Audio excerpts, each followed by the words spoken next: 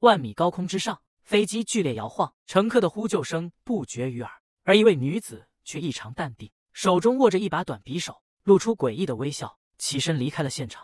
机长哭着向女主求饶：“这是万米高空，杀了他，大家都活不了。”女子从容一笑：“你的命并不值钱。”机长听到这话，决定拼死一搏，掏出手枪猛然射击，还有后手，却像早已被料到一般。女子微微侧身闪避，就躲过了这致命伤，向前发起进攻。利刃划过身体，结束了这人的生命。不就是开飞机吗？又不只有一个人会。女子名叫苏成月，是华国的一名高级特工。此次是来执行暗杀任务。她正从容不迫地操纵着飞机，全然没有想到这会改变她的人生轨迹。下一刻，透过飞机的窗，她看见了一颗陨石划过天空，眼前最后的影像便是陨石逐渐接近的画面。一段时间之后，苏成月在一处山洞中悠然转醒，看着身着古代华服的自己。他第一次显露出惊诧的神色，他竟然没死，而且还出现在了一个意想不到的地方。难道他也狗血的穿越了？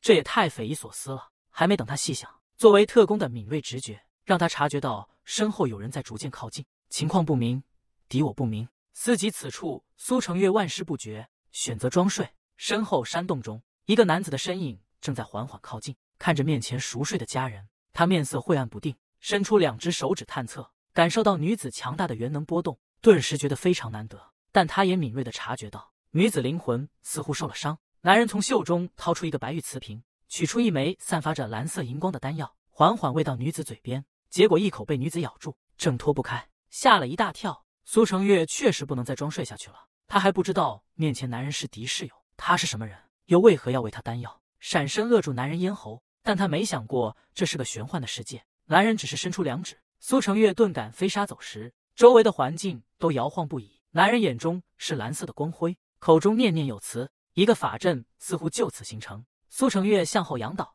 头撞上了石头，吐出一口血。好强悍的力量，修真世界不好惹呀！而此时，男子也意识到，对方虽然元能强大，却不会任何法术。既然手无缚鸡之力，却还敢出手偷袭，也真是胆大妄为。不过他并不是小肚鸡肠之人，苏成月此举是为了自保。男人伸手去撕扯女子的衣服，这可给苏成月吓了一大跳。难不成他是个趁人之危的禽兽？原来男人是要为他治伤。二人双掌相对，灵力倾泻而出。苏成月感受到一股暖流进入身体，状态好了不少。他不是不懂感恩之人，更不愿意欠人情，便直言需要他做些什么作为报答。男人咬破指尖，这个好说。还不等苏成月反应过来，指尖的血液就已经点上了他的额头。男人口中念念有词，说的是结为主仆的契约。一阵光芒过后，额头的灵血吸收，苏成月还不知发生了什么。这契约让二人同生共死，而且男子的命令，苏成月无法违抗。这是要他做他的奴仆。苏成月张张嘴，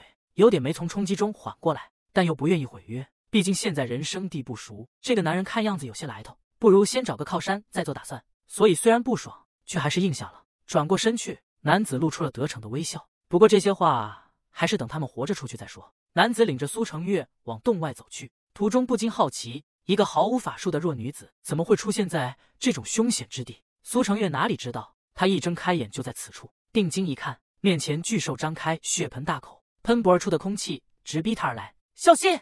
男人一把拉过苏成月，将他护到一旁，手中掐诀，灵力光华倾泻而出，一看就不是凡俗之人。随着法阵光华越发清晰，怪兽被光芒笼罩其中。这原来就是传说中的上古神兽穷奇，看着可不好对付。他不会刚穿越就要小命不保了吧？此刻也只能寄希望于这个男人了。他们两人缔结了同生共死的契约，现在就是一根绳上的蚂蚱。男人勉力维持，看样子情况不妙。穷奇还在诛心，要二人放弃挣扎。他很快就要撞碎法阵，届时二人难逃魔爪。穷奇是上古神兽，如果不能一击击溃，恐怕后患无穷。男人眉头紧皱，运转周身元灵七阶的气力。月阶结出了八阶法阵，虽然已经算是天之骄子，但对于穷奇来说还不够看。他伸出魔爪，掀起一阵罡风，像利刃一般划破男人的皮肤，将他身上的衣服寸寸吹裂。此情此景，苏成月还有心思赞叹：这身材比他合作过的男特工都好，露出欣赏的神色。果然是个大心脏。男人担心苏成月的安危，喊他躲在自己身后。苏成月脚下不停，很识时务的往那边靠拢。但对于自己有朝一日也要靠男人保护这件事，还是颇为不爽，眼看着龙爪就要伸到眼前，穷奇心中已经开始庆幸七阶修士就要成为他的养分了。想想还是令他激动不已。也是这千钧一发之际。男子闪身上前，为苏成月挡下了致命一击。苏成月头撞在他坚硬的胸膛上，男人嘴中吐出一口鲜血，头发霎时间由青丝转为白发。感受着面前男子的心跳，苏成月顿时红了脸颊。好暖和的肉体，自己心跳加快了。此时男子挺直了身躯，苏成月一个不察，差点摔落在地。仰头看见男子帅气的面容，一头白发添了些许颜色，还不快起来，贴在我身上做什么？听见男子这话，苏成月脸上如火烧一般，太丢人了。他可不是故意的，这是他职业生涯的污点啊！男人来不及多想，面前的穷奇还没有解决，他手中再次掐诀，此时散发出的红色流光令人心生畏惧。饶是不会法术的苏成月也感受到了此攻击的威力，红色的法阵甫一结成，穷奇也惊骇不已。七阶修士怎么可能结出九阶法印？除非他的身份。穷奇心下感到不妙，即使毫无修为，苏成月也感受到了男人身上的力量非同小可。他究竟要干什么？难道他要靠一己之力封印穷奇？此时的穷奇已经是困兽犹斗，面对如此强大的九阶法阵，穷奇生出了拼死一搏之心。即使吃不了他，也不会就此被他封印。他一定要拖二人下水。穷奇的口中爆发出一股强悍的能量波。像一颗炸弹一般爆炸开来，二人便没有了意识。再次清醒过来，苏成月感受到一个裸男压在自己的身上，连忙推开，原来是方才的男人。他身体虚弱，满头白发，明眼人一眼便能看出他身受重伤。想到他受伤也是因为自己，苏成月心中有些抱歉。他并不是故意的。此时他又能为他做些什么呢？男人虚弱的声音在耳畔响起：“他腰间有一瓶聚灵散，帮他拿出来。”苏成月目光向下看去，那聚灵散不会是在那个位置吧？这不好吧？但听到男人虚弱的咳嗽声，苏成月还是心软了。我帮你拿，你可别死了呀！他紧闭双眼，手向下探去，不断摸索，却怎么也找不到那瓶丹药，只好对男子上下其手，好像摸到了什么不该碰的地方。男子发出一阵闷哼：“不是吧？”苏成月震惊的妈了，他可不是变态。正欲拿开手，男子却出声制止：“还没到位。”“什么到位？这是可以说的吗？”男子抓着他的手向下探去：“还没到位，你刚才摸偏了。”这气氛也太不对劲了。苏成月轻咳两声，缓解尴尬，但突然反应过来，明明他自己能动，为什么还要他帮忙取丹药？男子脸上露出一片羞红。苏成月刚刚摸错位置，不小心刺激了他的穴位之上，精力被暂时激发了出来。但此时他的身躯又猛然一滞，面露痛苦之色，身上的伤痕都爆发出来。你怎么了？苏成月慌乱不已。男子缓缓解释：除非救急，那穴位不可随意出动。虽然激发元灵，但伤害根本。现在这样是反噬的预兆，快帮他服用解药吧。男子脸上的痛苦神色越来越重，苏成月也不敢耽搁，将一枚金色的丹药放进了他的嘴中。男子眉头紧皱，像是坠入了无间地狱一般，痛苦的发出了叫喊，身上的血痕也越来越重。到底是怎么回事？苏成月也慌了手脚，又发生了什么？他到底还能不能活下去？如果男子死了，那他身上的契约印怎么办？岂不是要和他一起死？看着男子低垂下去的头颅，苏成月灵机一动。好像还可以抢救一下。男子疑惑不解，他连法术都不会用，又有什么办法治疗伤势？殊不知，苏成月作为二十一世纪的女特工，能自保自有自己的一番手段。她的血液有治愈的功能，可以让每次遇险都逢凶化吉。只要不是致命伤，苏成月就不会死。思及此处，苏成月也顾不了许多，划破自己的手指，将血液喂到男子嘴边，感受到香甜的血腥之气。男子微微合眼，张口含住，吸收他指尖的血迹。这感觉不对劲呀，好像不是去幼儿园的车。他要下车。两队兵哥相见，他们手中紧握着锋利的长剑。随着一声清脆的刷刷声响起，剑尖反射出刺眼的光芒，空气中弥漫着紧张和决斗的气息。这时，其中一个黑衣人伸手打断了紧张的气氛。等一下，他不知从哪拿来的红头巾，系在了自己的额头上。阮炼荣在一旁大口吃瓜。哇，这样都行？红头巾哪来的？黑衣人系好头巾，不要在意这些细节，能区分敌我就好。下一秒，系着红头巾的黑衣人便和没有系红头巾的黑衣人打了起来，剑刃相接，发出刺耳的铿锵声，场面一时混乱无比。在混战的过程中，有人的红头巾被扯掉，这下众人更加分不清敌我，只能胡乱拳打脚踢。眼看着面前这番颇有些无语的场面，老狱卒将还在吃瓜的阮炼荣悄悄拉走。七公主，你快走吧，殿下吩咐说要派人来救你的。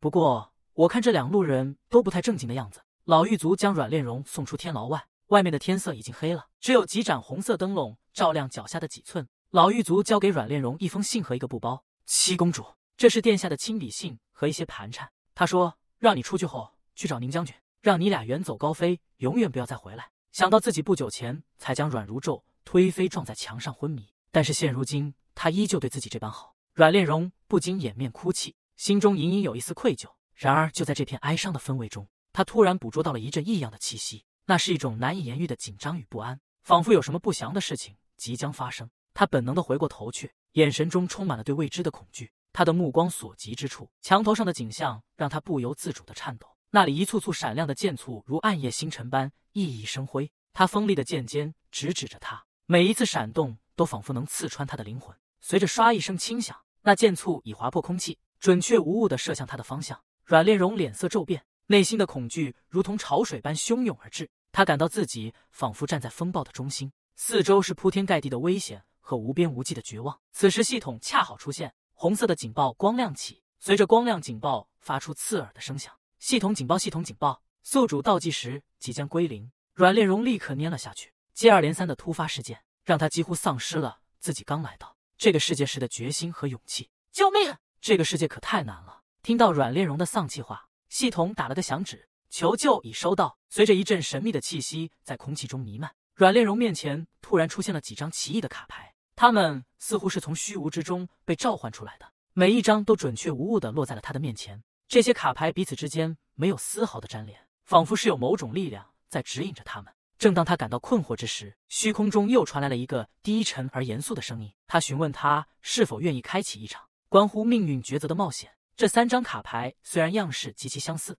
但每张牌上所描绘的图样却各不相同。其中一张卡牌上呈现的是一把天平，另一张卡牌则是由剑和弓构成，最后一张的图案竟是一个牛头。看着面前的三张牌。阮炼荣停止了哭泣，但是还没有完全反应过来。哎，他缓缓伸出手指，点击那张上面有着天平图样的卡牌。紧接着，随着阮炼荣的选择，三张卡牌全部翻转。他刚才选择的那张卡牌上写着“续一秒”，其他两张则分别是“赐作者一死”和“取作者狗命”。看到另外两张卡牌上的字，阮炼荣有些唏嘘。选中的那张卡牌很快生效，就在那转瞬即逝的一刹那，剑矢即将贯穿阮炼荣的胸膛。然而，剑尖就像是被一只神秘的手轻轻握住，他在空中戛然而止，留下了短暂的停滞。阮炼荣被这突如其来的变故愣住了，但他并没有失去理智，他迅速做出反应，双手护住头部，身体本能的向一侧倾斜，避开这致命的一击。紧接着，只听得一声刺耳的呼啸，那剑从阮炼荣的身旁擦过，嗖声中带着尖锐的呼啸，划破了他肩头衣服的布料，留下了一道显眼的伤口。虽然受伤，但阮炼荣心中却是一片轻松。因为他认为自己已经成功的躲开了这场危机，那只剑簇稳稳当当的插进地面之中，发出沉闷的啪声。剑簇的尾羽在微风中微微颤抖，显示出拉弓之人的力大无穷。阮炼荣此刻只感觉到自己的心跳还未完全平息，一边暗自流泪叹气。系统不紧不慢的解释刚才那几张卡牌的来处。刚才三位 VIP 用户同时发动技能，触发系统命运的抉择。系统扶了扶鼻梁上的眼镜，你运气不错，选了 C。阮炼荣流泪心痛，嘴角流下血，真是我的亲读者。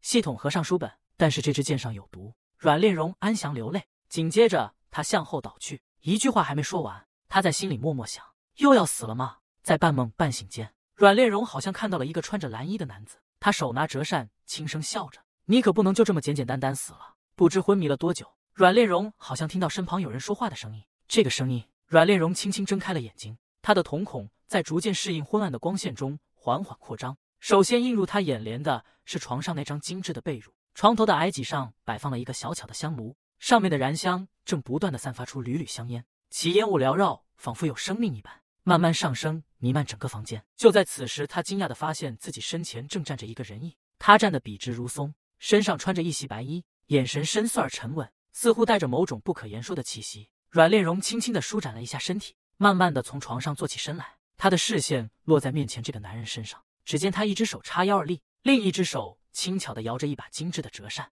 那扇子随着他的动作轻轻摇曳，增添了几分文雅之气。那男人的眼中带着温和的笑意，仿佛能看穿一切，又像是深藏不露的智者。公主殿下在下温庄，粗通医术。温庄说完这句话后，便收起了手中的折扇。阮炼荣被他那一系列动作所吸引，一时间竟有些出神。当他看清面前的这个人时，不禁感到一阵脸红。心头泛起一股莫名的羞涩。这个人笑得真好看。半晌，他发现不对劲。等等，我不是在天牢吗？阮炼荣立刻便对面前这个自称温庄的男人产生了警惕。你你是什么人？温庄抿唇轻笑，似乎对阮炼荣的反应并不意外，反应倒挺快。温庄不疾不徐，笑着向阮炼荣解释：“公主莫怕，在下并非坏人，公主身上的毒就是在下解的。”阮炼荣正想说什么，就在这时，门口响起一阵急促而响亮的敲门声，门外无人应答，那敲门声却没有丝毫停歇，反而更加响亮，回荡在空旷的房间内。那群敲门的人穿戴整齐，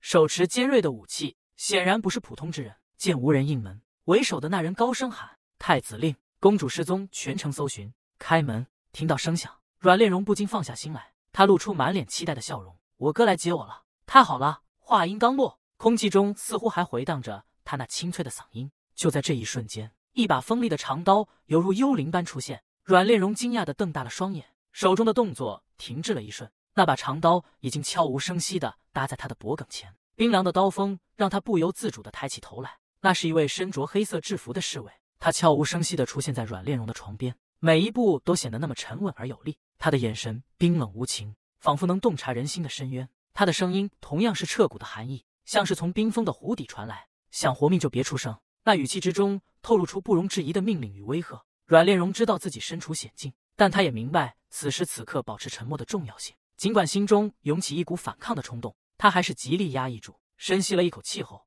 他选择了顺从，不再发出任何声响。温庄没有说话，阮炼荣也知趣的闭上了嘴。室内的空气中弥漫着一种微妙而紧张的气氛。随着时间的流逝，寂静逐渐蔓延开来，如同冬日里最后一丝温暖被悄无声息地带走。然而，就在这个静谧时刻，门外的敲门声突然变得急促起来，伴随着一声声砰砰的撞击声，像是一场无声的宣战。开门，开门！再不开门撞门了呀！声音越来越大，每一下都显得那么急切，像是在催促着屋内的人做出回应。阮炼荣感受到了这种突如其来的压力，他的手不由自主地抓紧了身上的被子，手心里满是汗水。他感到一股莫名的紧张涌上心头，该怎么办啊？温庄却突然打开门，手中拿着一块刻着“风”字的金色腰牌。他将手中的腰牌展示给众人看：“各位官爷，此处乃风雨楼驻地，没有见过公主，还望官爷赏几分薄面。”被长刀控制的一动不敢动的阮炼荣面色绝望。你们倒是进来骚啊！温庄回到屋内，关上门，抱臂环胸，抿唇看着阮炼荣。阮炼荣咬牙赌气：“骗子！”温庄一把拽过黑衣侍卫的衣服，将他从阮炼荣的身边拉开。都是他逼我的。温庄扯过黑衣侍卫，那把长刀顺势架在了他的脖子上。在下只是一介游医，被此人逼迫到此间为公主治伤。黑衣侍卫一脸不情愿的样子。阮炼荣独自坐在原地，只觉得分外荒唐。这到底是什么鬼？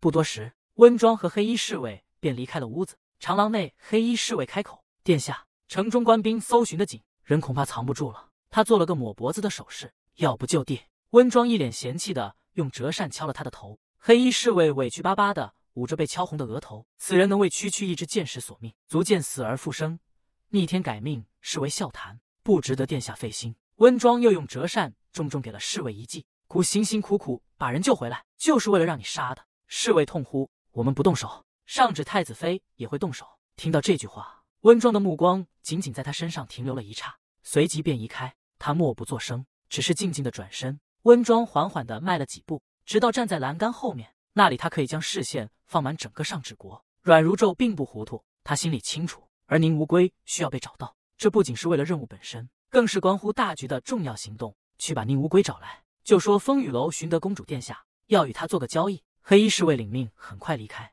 留下温庄一人站在原地。他喃喃自语：“你可不能就这么死了。”此时的上指国皇宫内，阮炼荣的失踪如同一颗定时炸弹，在阮如昼心中引爆。他愤怒地将手中的茶盏狠狠摔在地上，杯盏破碎成数块碎片，茶水四溅，激起一阵水花。侍卫们吓得跪伏于地，头也不敢抬起，生怕惹来更大的怒火和责罚。还没有阿荣的消息吗？他们从未见过。如此冷漠的君主，他那张平日里温和的面庞，此刻显得异常阴沉和严峻。他的目光如鹰隼般锐利，质问声中带着不容置疑的威严。天牢那边如何？一个侍卫恭敬回。牢头回忆，昨日大牢先是去了两拨人，都要将公主带走。双方混战至宁将军到时，公主已不知所踪。阮如昼的怒火在胸中翻腾，他紧握的拳头捏得咔嚓作响，每一个动作都显得异常用力。成事不足，败事有余。那名侍卫见状。也是一阵慌乱，他的膝盖像是被什么无形之物狠狠地撞击了一下，随后发出一声脆响，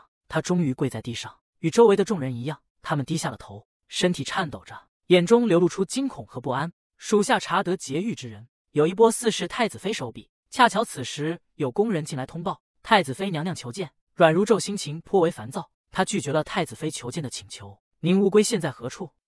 底下的侍从答：宁将军正四处搜寻公主殿下，此时暂无消息。阮如昼脸色更差，便是寻不到阿荣，便叫他下去为阿荣陪葬吧，不必来见我了。阮如昼转身大步离开宫殿，在见到太子妃的那一刻，阮如昼立刻变了脸色，原本阴鸷的脸色瞬间变得异常生动起来，那种表情如同春天里盛开的花朵，既鲜艳又充满生机。他微微扬起嘴角，声音中带着几分愉悦与深情。爱妃来了。入夜月亮高高挂在天上，阮炼荣扶额蹲坐在墙角，满脸垂头丧气。系统在一旁用笔认认真真写下“颓丧”两个字。突然有人轻轻敲门：“公主，宁将军来了。”阮炼荣看着放在桌子上的布包和信封，宁无归。对了，太子哥哥的信。他想起老狱卒在把自己带出天牢时交给自己的东西，这是殿下的亲笔信和一些盘缠。阮炼荣顿时来了精神，他还有银子和手信。阮炼荣坐到桌子前，打开信封。细细读着里面的内容，亲亲阿荣，见信如无。宁将军神兵天将救你逃出重围的样子，是不是很威武？其实这都是为兄安排的，随他走吧，剩下的事无需记挂。为兄皆已安排妥当。如昼看完信封，阮炼荣不禁泪流，他掩面流出欣慰的泪水。宁将军，宁无归，那不是我的男主角吗？正人君子，刚正不阿，还是上指国第一美男子，这人绝对不会害我了。此时，房间的门被突然打开。三人走进了屋子，除了那黑衣侍卫和温庄，站在中间的正是刚才阮如昼书信中提到的宁无归宁将军。公主，宁将军来了。黑衣侍卫正色，紧接着他转身对宁无归，希望将军不要食言。宁无归则向他作揖。宁无归言出必行。听着他们的对话，阮炼荣一头雾水，这又是什么个情况？宁无归在阮炼荣面前双膝跪下，臣就驾来迟，请公主赎罪。阮炼荣顶着满头的问号，来了就好，来了就好。宁无归又附身低伏在地上，臣带兵无方，败于木泽，雷吉公主罪该万死。阮炼荣更觉奇怪，哪里哪里，这其实也有我一份功劳。宁无归继续，城外马车已经备好，暂请公主委屈几日，待到达目的地，臣即刻迎娶公主。阮炼荣的笑容僵在了脸上。歪，一想到无时无刻不在减少的王国倒计时天数，阮炼荣连忙摆手：“将军，你冷静一点，你娶了我，陆菲菲怎么办？”阮炼荣在内心哀嚎：上指将军宁无归，丞相之女陆菲菲，青马竹梅，郎才女貌，这可是本作者钦点的正宫男女主哇喂！阮炼荣黑了脸，被宁无归几句话搅得分外困扰。娶我是个什么骚操作？宁无归闭上眼，语气里满是愧疚：臣乃败军之将，岂有颜面求娶陆小姐？听到这话，阮炼荣扯了扯嘴角：兄弟，好像有哪里不对劲吧？日光下，下人铲着妹，带着青纱帮少主来到了。关押阮炼荣三人的小屋子前，少主，我把他们三人关押在了这里。下人点头哈腰，恭恭敬敬，明请。青纱帮少主一只手掏着耳朵，一边心不在焉的敷衍应着。紧接着，他停下手中的动作，脸上的笑容有些猥琐。对了，那冒充上旨公主的人长得如何？好看吗？下人连连应道：“是挺好看的。”青纱帮少主转过身，有些不悦的看了身后的人一眼：“好看，你还跟来做什么？”他向前几步，推开了屋子的门。记住，等下。无论里头有什么动静，都不准进来。下人只好领命退下。青纱帮少主推门走进，换上了一副严肃的表情，厉声质问屋子里被关押的几人：“你们就是假冒上旨和亲队伍的人吧？”屋子里面的三人被围捆在一根粗壮的木桩上，三人的双手都被细绳捆住。宁无归狠狠瞪着他，温庄倒是没有什么太大反应。青沙帮少主继续道：“只要进了我青沙帮的地界，不仅得把你们的金银珠宝都给我交上来，人也别想跑。”他又走上前，捏住阮炼荣的下巴。咧着嘴笑，特别是你这种姿色尚可的小妞，就留给我做第三十八房小妾吧。阮炼荣一副楚楚可怜的委屈模样，看起来更惹人心疼。人家就只能做第三十八房小妾吗？温庄在一旁暗自憋笑。阮炼荣继续道：“如果人家把上旨公主真正的行踪告诉你的话，少主要怎么奖赏我呢？”青纱帮少主眉开眼笑，他喜滋滋的说道：“当真？如果你将那上旨公主的行踪告诉我，我立刻迎娶你做我的压寨少夫人。”眼见鱼儿自己咬上了钩。阮炼荣轻笑：“那好，少主，请富儿过来。”宁无归已经举起了麻布袋子，悄悄的在一旁等候。青纱帮少主俯下身去，下一秒，那麻布袋子便套在了他头上。宁无归立刻将封口用绳子系紧。青沙帮少主挣扎着，但是只能发出呜呜呜的声音。捆住三人的绳子已经被解开，宁无归和温庄两人对着被蒙住头的青沙帮少主拳打脚踢。哎呀，疼啊！青沙帮少主抱着头蜷缩在地上，阮炼荣在一旁看戏，还不忘添一把柴火。少主，你不是要我大力一点吗？守在门口的下人只能听到屋里面阮炼荣的声音和少主的惨叫。少主，您再叫大声一点。一个下人有些听不下去了，他忍不住说道：“少主叫的可真惨啊，我们真的不用进去吗？”另一个下人却早已见怪不怪了：“你不知道，我们少主和他那几十个小妾都是这么玩的，一准没事。”殊不知，那宁无归和温庄教训完了青纱帮少主，已经悄悄躲在门后，准备解决守在门口的两人。温庄轻轻将门推开一点：“我负责东边的。”宁无归点头：“那位去西边等下会合。”方才还在聊天的两人被点了穴踢飞了出去。不多时，青纱帮里面所有的仆役全部被捆绑住，双手跪在三人面前。他们的少主被蒙着头跪在中间，一个个龇牙咧嘴，喊着疼。阮炼荣手中拿着不知从哪掰下来的树枝，不紧不慢地敲着自己的手心。都抓齐了吗？温庄接道：“宁将军可厉害的很，连伙房的大厨都被他抓过来了。”整个青纱帮全军覆没。宁无归站在身后，单手叉着腰。过奖过奖。阮炼荣停下了敲打自己手心的动作。既然如此。那我便开始审问了。他用树枝指着青纱帮的少主，下方何人？还不速速报上名来！青纱帮少主只是一个劲儿的喊道：“别杀，别杀我！”阮炼荣将套在他头上的麻布袋取下，只见那青纱帮少主早已被打得鼻青脸肿。他很是不服气：“我父亲是青纱帮帮主，他有钱的很，他会赎我回来的。”听了这话，阮炼荣非但不怵，反而脸上的笑容更加凶神恶煞。青纱帮虽然近年来无恶不作，但顶多也就是求财。你们以来就要杀我？说是谁派你来的？青沙帮少主眼神躲闪，看起来似乎是想逃避这个问题，但也更加说明了他心里有鬼，以及这件事绝对有幕后推手。还在犹豫着呢，一把剑便架上了他的脖子。宁无归厉声道：“我不想听废话。”青沙帮少主哆哆嗦嗦从怀中的口袋里掏出一张纸，是一个神秘的男人，他给了我一张药方。他颤抖着双手将那张纸奉上，是他让我杀了上旨公主。阮炼荣接过那药方，青沙帮少主哭得厉害。他说：“他能让青纱帮攻下上旨的，都是他干的，不是我。”阮炼荣看着药房若有所思，难怪宁无归这般厉害，都打不过刚刚那群劫匪，原来是这药粉的缘故。阮炼荣也不过多废话，他伸手揪住青纱帮少主的衣领，说：“那神秘人还有什么线索？”青纱帮少主汗如雨下，他流下豆大的泪水，其他的我便不知道了。但他说他叫栾玉。听到那个名字，温庄和阮炼荣同时变了脸色。什么？阮炼荣伸手便要打，空口无凭。你可有凭证？青纱帮少主连忙道：“在我的衣服里有一份他寄来的书信，您看看便知。”宁无归蹲下身，在他怀中找到了他口中那份栾玉寄来的书信，交给了阮炼荣公主。您看，阮炼荣看着那书信，眉头紧皱，落款居然真的是栾玉。他紧紧攥着那封书信，可是，在我的设定里，临安国主栾玉根本就不是这种勾结小人的人。他看着那书信，陷入了沉思。难道又是蝴蝶效应？见阮炼荣久久没有反应，宁无归也有些担心。他开口：“若是信件属实，那公主你还要去临安国吗？”一旁的温庄垂眸，脸上的表情也不好看。到底是谁？阮炼荣摇了摇头：“就算如此，自己也得去临安国一趟。”他踢了踢还跪在地上的青纱帮少主：“你把我们的东西都抢到哪里去了？”青纱帮少主连忙指了指旁边的那间屋子，在西厢房内。您放心，一点都没动过。阮炼荣跟两人商量道：“我们今晚在这安顿一晚，明天继续出发。”您无归领命。青纱帮地处偏远，自然环境倒是很好，依山傍水，非常幽静。一只白鸽咕咕叫着落下，落在了温庄的指尖。温庄抓住那只白鸽，在它的爪子处塞入了一张小纸条，然后将白鸽重新放飞。温庄看着逐渐飞远的白鸽，背影显得分外孤单落寞。下一秒，不远处的草丛中传来一响，拿命来！然后是一阵公鸡的咯咯声。阮炼荣在草丛后面哎呦一声，猫着腰，不知道在干什么。温庄有些无奈。只见阮炼荣匍匐在地上，看着面前两只昂首挺胸的公鸡，咬着牙，嘴里恨恨道：“我就不信了，今天还办不了你们。”温庄走过来，走到匍匐在地上的阮炼荣身后：“公主，天都快凉了，明天一早我们就要启程。您不睡觉，在这里抓鸡是在做什么？”阮炼荣气极了，他叉着腰站起身：“还不是他们吵得自己睡不着觉，我要把他们做成吮指原味鸡，看他们还敢不敢这么嚣张。”温庄站在阮炼荣旁边，默默闭上了嘴。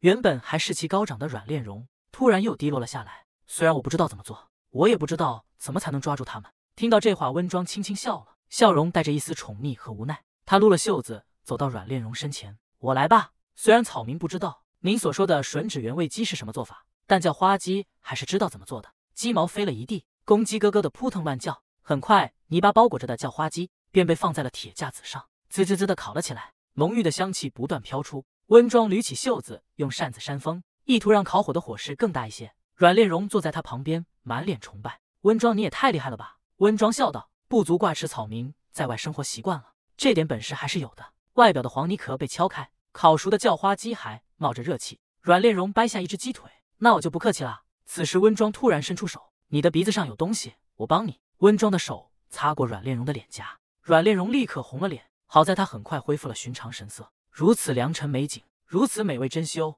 没有酒怎么能行？他不知从哪拿出了一坛酒，幸好我偷偷藏了这个寨子的酒。是兄弟，就和我干一杯。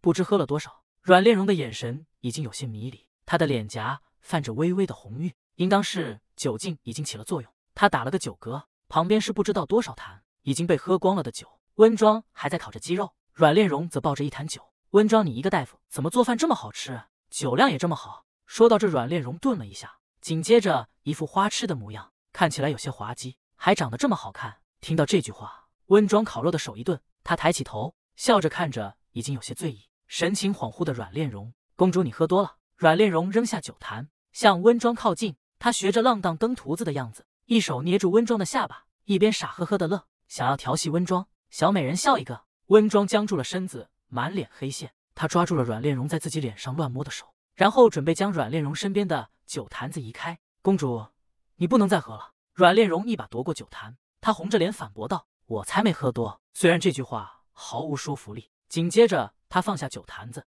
向温庄扑了过去，嘴里还说着调戏的话语：“小帅哥，不如就这么从了我吧。”他伸手摸着温庄耳边的长发，嘴里絮絮叨叨：“我写书赚钱养家，你负责貌美如花。”温庄的脸不知何时突然红了，阮炼荣倒下靠在温庄的怀里，还在继续畅想着自己和小美人的美好未来。我们可以买一套三室两厅的大房子，还可以。话还没说完，阮炼荣便不胜酒力的在温庄的怀里睡死了过去。温庄一愣，此前从未有女子这样喝醉了睡倒在他怀中。突如其来的状况让温庄有些无所适从，他的手停顿在半空中，不知道该放在哪里为好。侍从不知何时出现在了他的身后，主人，我送上纸公主回房。温庄拒绝了。他起身抄起阮炼荣的膝弯，将人整个抱起。温庄脸颊绯红，他看着在自己怀里熟睡的阮炼荣，心想：真是个胡说八道的小骗子。翌日，一行人带着从土匪头子那里抢来的车辆、马匹和人力，来到了临安国的边境城门。守城的士兵拦住了他们：“站住！什么人？”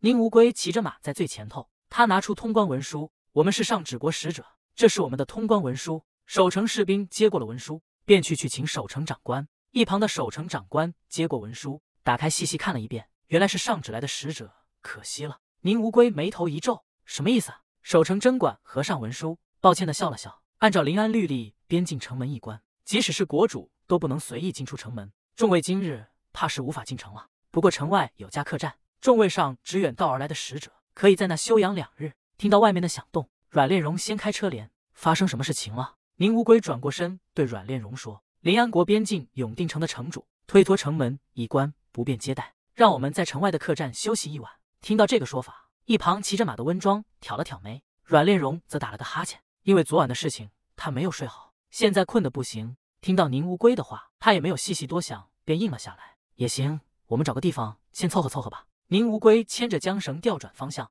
对着从青沙帮带来的下人道：“护送公主移驾，找一处客栈下榻。”一行人调转了方向，向客栈走去。一个守城士兵在守城长官耳边低语：“长官，那客栈已经联系妥当了。”守城长官脸上原本憨厚老实的笑容顿时消失，变得极为阴鸷恐怖。记住，做得干净一点，千万别让他们的血沾进我永定城的土地上。马车愈行愈远，三人还不知道他们即将迎来的是什么。几人行了几里路，终于来到了最近的一家客栈。那客栈叫做银佑客栈，两层小楼高，装修倒是还说得过去。阮炼荣一边伸着懒腰走进客栈，一边感叹。自己今晚一定要沐浴。宁无归则拿了一锭金子给了掌柜的，整间客栈报下来不得喧哗。掌柜的一手托着算盘，一手拿着金元宝，眼睛都乐开了花。他那里见到过这样泼天的富贵，收了那一锭金子，他连连答道：“明白，明白。”宁无归对阮炼荣说：“公主臣先去看顾马匹，您同温庄先生先上楼休息。”阮炼荣点头答应。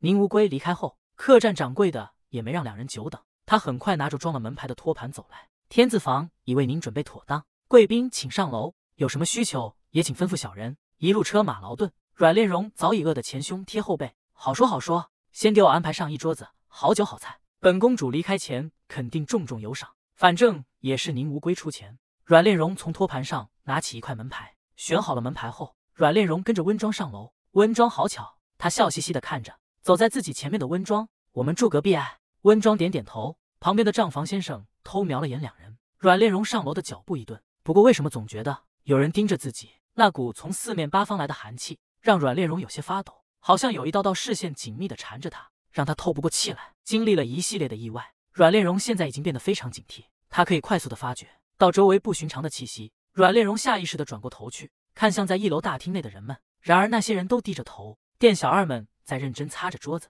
食客低着头喝茶用餐，大家都在忙着自己的事情，仿佛刚才阮炼荣那一瞬间的犹疑只是错觉而已。只是他现在有些。草木皆兵，风声鹤唳罢了。就连阮炼荣自己也有些纳闷，难道是自己搞错了？为了安全起见，阮炼荣并不打算把这件事当作错觉。他快步走到温庄身后，伸手扯了扯温庄的袖子。温庄转过身，阮炼荣继续小声道：“我感觉这里不太对劲，好像一直有人在看我们。你们离安国难道也有卖人肉包子的黑店吗？”温庄反手握住阮炼荣的手，示意他安心。公主不用担心，临安国国风淳朴，不会有什么人肉包子店的。要是有什么事，我和宁将军都在你隔壁，随时叫我们即可。听到这句话，阮炼荣这才放下了心，他连忙点头，没问题。阮炼荣的目光中透着几分柔和，他轻轻将小福子从地上扶起，动作轻柔而自然。那股最初在他面前流露出的威严之气，似乎在此刻被悄然收敛，取而代之的是一种亲切而温暖的气息。他的脸上挂上了微笑，不再是之前那种冷漠的表情，而是换上一副更加随和亲近人的模样。也罢，这里里外外。也是需要有人照料的，你就先留下吧。小福子怔怔的看着阮炼荣，阮炼荣继续道：“不过你这名儿咱得改一个。”正在思考该如何给小福子改名，阮炼荣正巧看到手边的奶茶杯，杯壁上写着四个字：“波波奶茶。”阮炼荣灵机一动，他举起奶茶杯，对着小福子道：“以后你就叫奶茶吧。”系统在一旁暗暗吐槽：“得，还是想喝人家的血。”就在这时，一男一女突然闯进了关雎宫，那女人声音很粗。一边闯进来，一边高声喊着：“蓉蓉蓉蓉！”那女子身材比一般人高出了不少，见到阮炼荣后，便直直走了过来，眼中满是急色。小福子走上前要拦住那奇怪的女人，却因为身高的差距，直接被人一手遮住了脸。小福子感到一种无奈与挫败，他试图用自己的行动去阻挡那名神秘莫测的女人，却在那个女人面前显得如此渺小。她如同巨人般高高在上，而小福子只是一个普通人，身高的差异。让他连触碰到对方的机会都没有。阮炼荣看着那身材壮硕的女人向自己走来，被吓得连连后退几步，满脸抗拒。不是，这位大姐，你谁啊？听到这句话，女子脸上竟多了一丝愠怒和羞涩。小福子被阮炼荣按住肩膀，挡在身前，他夹在两人中间，哪也去不了，因为这奇怪的氛围而左右为难。女子暗暗攥紧拳头：“我是你哥，我是谁？”阮炼荣大惊，他看着面前穿着宫女衣服的女人，愣愣的喊出了声。哥，一旁有人扑哧一声笑出声来，像是历史重演一般，仿佛不久前也才发生过类似的事情。在一番尴尬的境地，有人不解风情的直接笑出了声。阮炼荣的视线随着那声音跟了过去，发现跟着阮如骤进来的男子，正是前几日中毒时遇到的温庄。温庄见阮炼荣的视线终于落到了自己身上，他恭敬的拱手作揖，语气里满是真诚：“小民参见公主。”阮炼荣看着那张熟悉的脸，有些诧异：“是你？”温庄笑道。没想到这么快又见面了。阮如昼此行女装，还带着温庄前来，为的就是查清阮炼荣体内的余下未被清除的剧毒到底为何物。阮炼荣躺在床上，伸手搭在温庄的手上，这本是很正常的大夫为患者把脉的姿势。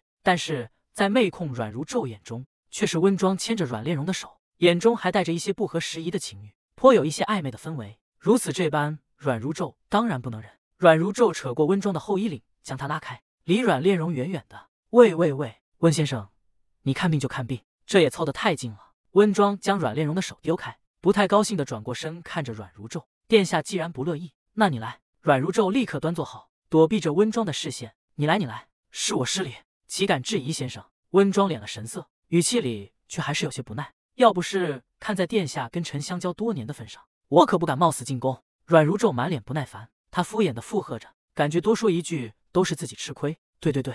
你说的都对。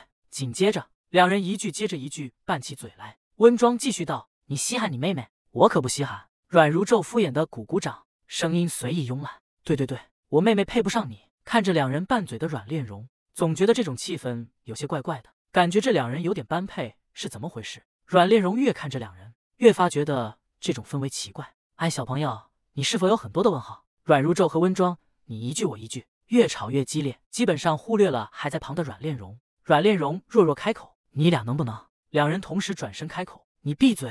阮炼荣默默闭上嘴。等到两人终于消了气。温庄给阮炼荣把了脉，查清了体内的余毒究竟为何。殿下，看症状，公主中的是五日断肠散。阮如昼听不懂这些药名，他只关心阮炼荣什么时候能够痊愈。阮如昼满脸不耐烦：“什么五日六日的？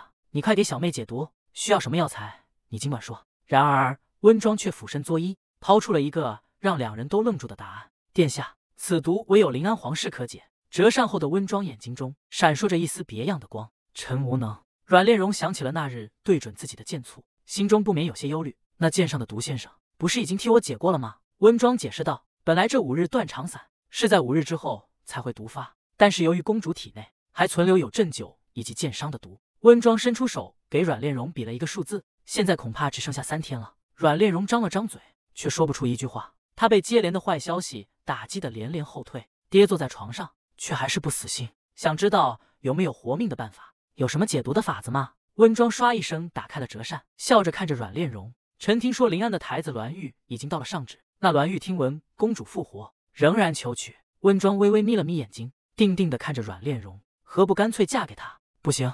阮炼荣和阮如昼两人拒绝的倒是干脆，被如此决绝的拒绝，温庄倒是也没想到。他愣了一下，脸色有些难看。他继续想着给自己找不？为何我听闻那栾玉风流倜傥，绝对不行。阮炼荣瞳孔骤缩，眼神里充满着畏惧的神色。你只听闻他风流倜傥，那你可曾听说他暴虐成性，变态至极，豢养男宠，奸淫掳掠，无恶不作，人面兽心，蛇蝎心肠？阮如昼和阮炼荣你一言我一语，将这世上流传的栾玉本人的性格全都说了出来。温庄的脸色已经差到了不能再差的地步。见温庄没有说话，阮如昼抓住他的手腕，开始控诉：“温庄，你说这样的垃圾人，我怎么可以把妹妹嫁给他？”温庄一时无语，阮如昼握着他的手，发觉有些奇怪。哎，你手怎么这么凉？阮烈荣倒是想到了一个好法子，哥哥，不如我们把栾玉绑了来，逼他们给我解药。阮如昼眼中放光，他正色道：“此法可行。”温庄看着面前交头接耳、出谋划策，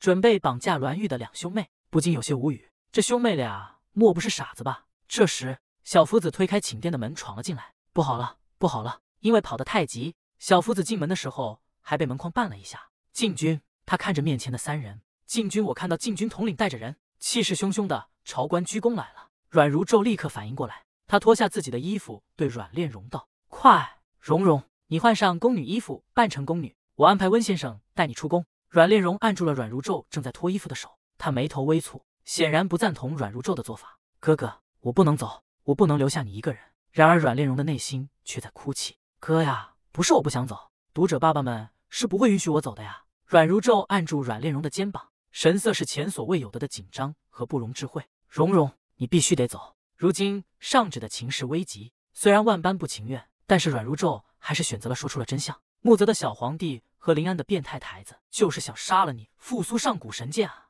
阮炼荣心中一惊，上旨国的皇帝并非两人的亲生父亲，而是两人的叔父，并因此对两人多有忌惮。阮如昼继续，而咱们的那位好叔父。一定也不会放过你。阮如昼面色一沉，上次我私放你出宫，他如今正好抓了把柄，关我禁闭，想要借此事废了我。他这个时候派禁军过来，怕是想带你去今晚的战星大会。此时，一行禁卫军已经浩浩汤汤的走了过来。然而阮烈荣却并不害怕，反而像是被激发了斗志一般。哥哥，到了我们该反击的时候了。他紧紧握住阮如昼的手。皇上突然开启占星大会，不就是想利用我改变紫薇形象，好名正言顺的废了你吗？阮炼荣言辞坚定，我定不能让他如愿。在一旁许久未出声的温庄突然开了口，他的想法与两人并不同。他并不认为这些禁军是冲着阮炼荣来的，恐怕这些禁军是冲着殿下你来的。听到温庄的话，两人都是一愣。说话间，禁军已经到了寝殿的门口。太子殿下，七公主，禁军统领恭敬地对着门口作揖。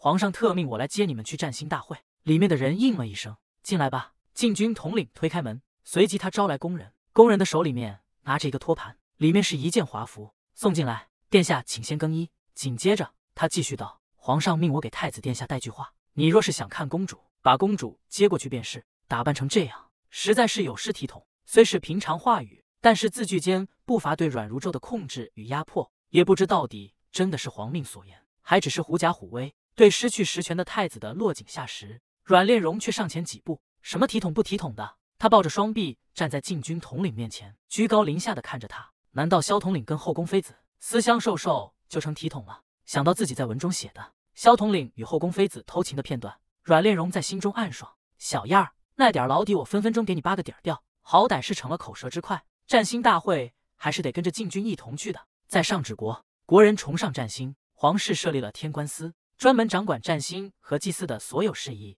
并且每年在观星楼举行观星大会。观星大会主要观国朝运势，为苍生祈福。观星楼矗立在崇山之巅，据说。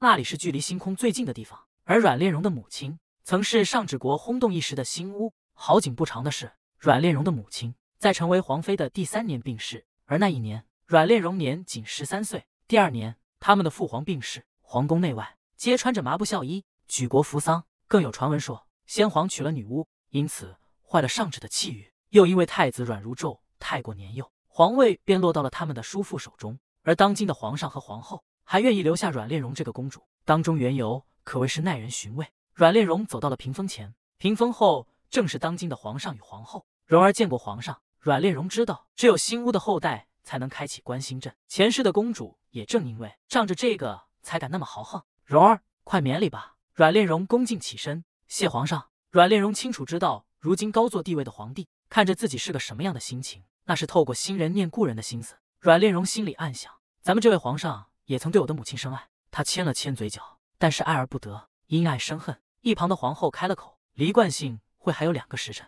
蓉儿先去偏殿做下准备吧。”他对阮炼荣倒是没有半点好脸色。若不是阮炼荣护着阮如昼，他自己的儿子便早早就能登上太子之位。阮炼荣领命离开，皇后盯着他的背影，心中暗生毒计：死丫头，过了今夜你就什么都护不住了。回到了休息的地方，阮炼荣这才卸下了力气，他瘫在椅子上，不断用手扇着风。小福子站在他身旁，刚刚这顿必装的好累。就在此时，一个微信群聊的聊天界面出现在半空中，群聊名称“王国倒计时三百天”，群里面有五十个人。阮炼荣发送消息：“读者大佬们，这个时候难道不给我一个金手指吗？我是个冒牌货呀，我哪懂什么关心阵？”系统回复：“你自己设定的，你自己不知道。”阮炼荣哭泣：“我小说里只是一笔带过呀，没真开启过这玩意儿啊。”系统感叹：“自作孽呀。”一个名叫在线给作者寄刀片的读者发消息，看你出糗，居然有点小期待。阮炼荣无语。又一个名叫每天疑问，今天女主下线了吗的读者发送消息，